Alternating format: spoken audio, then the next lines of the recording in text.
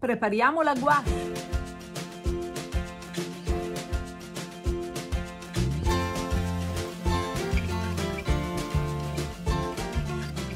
Ciao a tutti e benvenuti da Ombretta su Arte per te. Oggi un video importantissimo, prepariamo insieme la gouache, questi colori così meravigliosamente vellutati, coprenti, versatili, li abbiamo utilizzati e abbiamo utilizzato dei colori veramente ottimi, abbiamo utilizzato la gouache della Memeri, ora produciamola da sola, vediamo come viene e soprattutto prepariamoci per adoperarla in tantissimi video futuri. E allora, senza indugio, clicca su iscriviti se non sei ancora iscritto, pigia la campanella per non perdere i futuri video, spostiamoci di là e andiamo a vedere la gouache, come si fa. Ed ecco gli ingredienti per preparare la nostra gouache. 85 grammi di una soluzione formata da miele ed acqua, 42 grammi e mezzo di acqua calda e 42 grammi e mezzo di miele. Poi 85 grammi di glicerina, un cucchiaino di fiele di bue, 3 cucchiaini di destrina in polvere. La destrina la potete trovare nelle pasticcerie o nelle farmacie. È un carboidrato derivante dagli amidi che serve come addensante nella nostra ricetta. 6 cucchiai di gomma arabica pronta. Andate a vedere come si prepara la gomma arabica nel video che vi lascio in info box perché c'è il video. E poi ci occorrerà come pigmento sempre il bianco di Medon o il bianco di Spagna e i, e i pigmenti che decidiamo di avere come coloritura che vengono usati in formulazione uno ad uno cioè ogni colore sarà composto da una parte di bianco di Medon e una parte di colore prestabilito. Iniziamo subito così ci chiediamo subito le idee. Come prima cosa verso nell'acqua il miele. Vi ricordo che è una soluzione 1 a 1 quindi la stessa quantità di acqua e di miele. L'acqua è calda quindi adesso il miele si discioglierà. Disciolto il miele aggiungo la glicerina.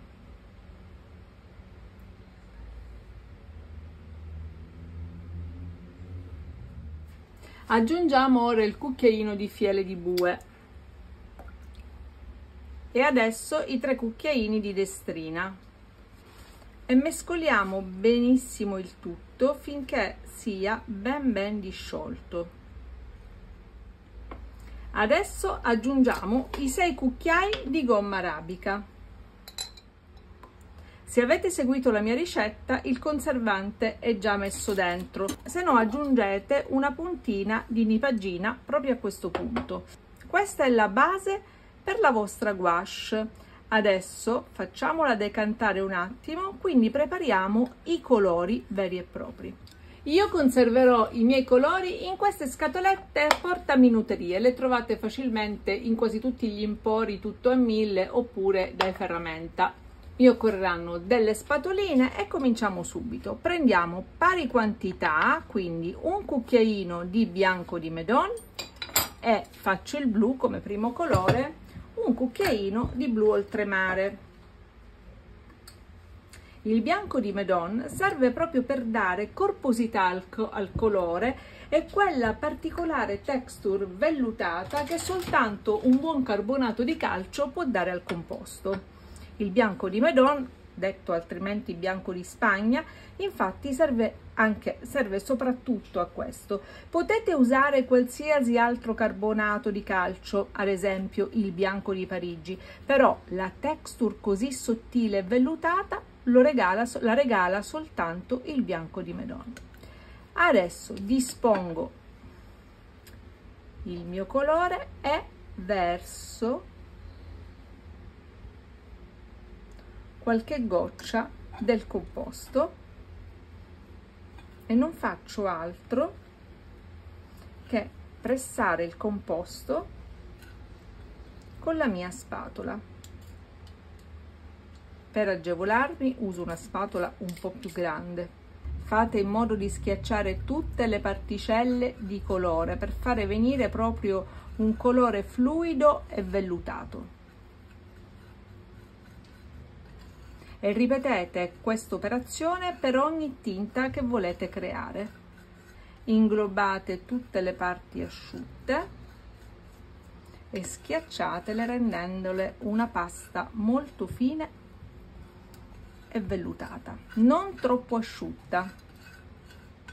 Quindi se notate che sta essiccandosi troppo perché la parte pulvirulenta è tanta, aggiungete un po' di qualche goccia di miscela base.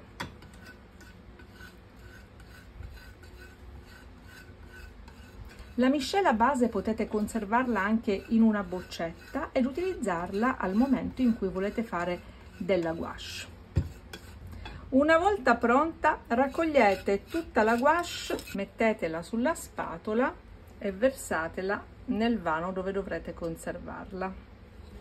Tutte le componenti di questo colore sono solubili in acqua, quindi per farla rinvenire se dovesse mai essiccarsi vi basterà bagnarla con dell'acqua meglio demineralizzata.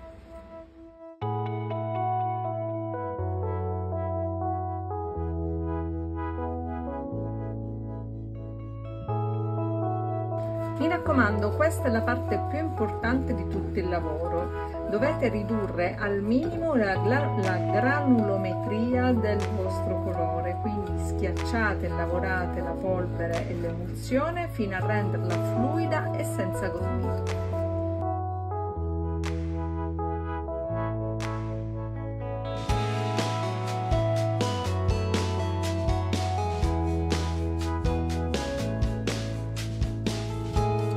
approfitto del supporto del piattino sporco di rosso e creo un arancione.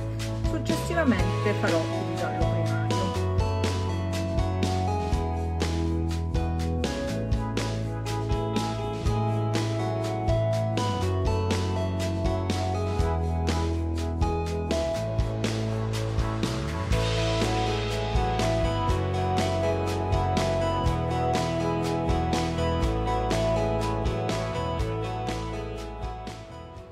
adesso faremo il bianco. Il bianco per far sì che sia bello coprente oltre al medon useremo il bianco di titanio come pigmento colorante. Quindi il medon per dare la struttura e il bianco di titanio per dare il colore. Quindi anche qui sto andando di due cucchiaini di bianco di titanio e due cucchiaini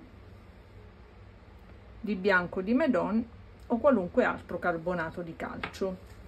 Adesso farò il bianco e nello stesso modo farò anche il nero e alla fine poi vi farò vedere la palette che ho creato. Vi aspetto sul piano da lavoro per vedere il risultato finale della mia palette. Credo che ormai il procedimento l'abbiate acquisito. Ci vediamo dopo per me c'è ancora un lungo lavoro. E alla fine del mio lavoro quello che avrò ottenuto sarà questo una palette di gouache pronta all'uso. Non vi preoccupate se i colori chiari sbordano leggermente nel nero perché rimescolando il nero ingloberà totalmente le tinte più chiare e non si vedrà più.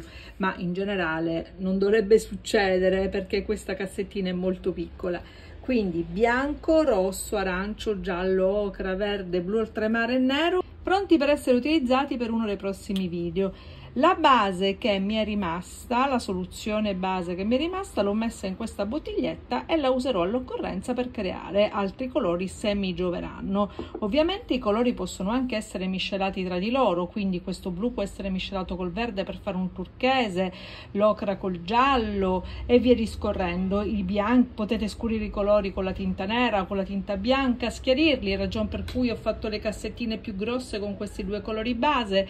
Allora sbizzarritevi e createvi la vostra scatola a seconda del vostro modo di dipingere.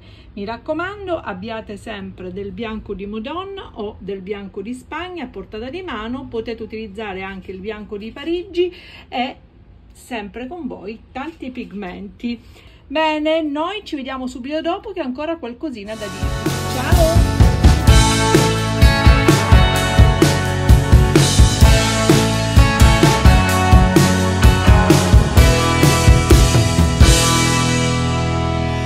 adesso proviamo la nostra gouache. Sono passati un po' di giorni da quando l'ho preparata l'ho già utilizzata un pochino prima di parlarvene mi pareva giusto. E adesso vi faccio vedere la sua resa.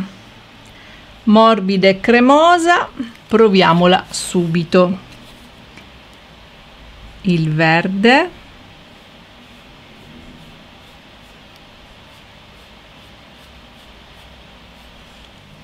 il giallo.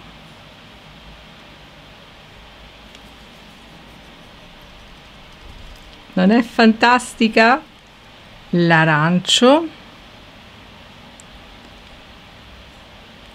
Io ho usato un pigmento rosso orrendo si chiama rosso segnali. Non lo comperate mai.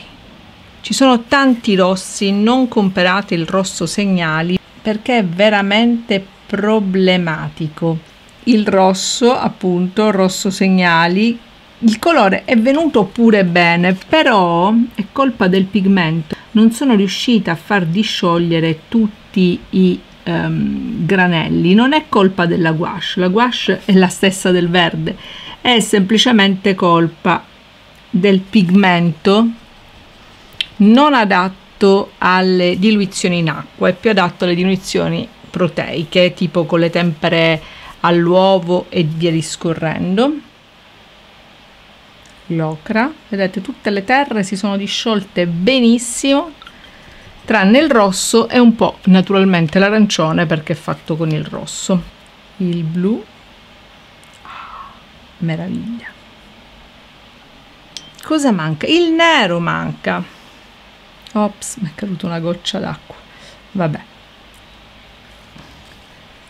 bellissimi non trovate? E adesso dobbiamo vedere anche il bianco quindi per il bianco devo prendere una carta scura.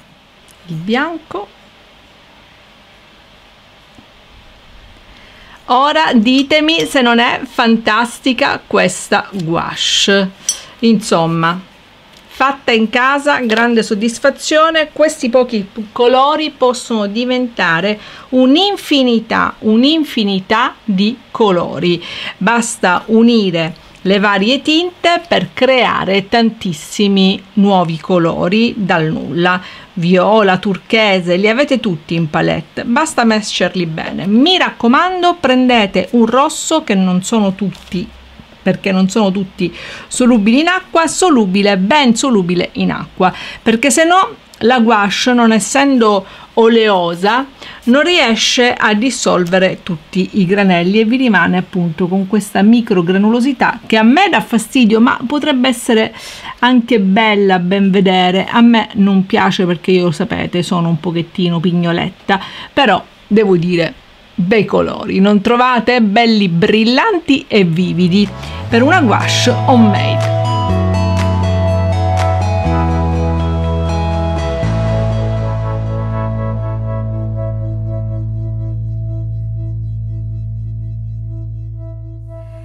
Visto non è poi affatto difficile preparare una buona e bella gouache. I colori a gouache sono dei colori meravigliosi, me li avete visti usare in tanti video precedenti, casomai vi metto il link qui sotto e vi metto qui sotto anche il link della preparazione della gomma arabica che è una cosa veramente semplice.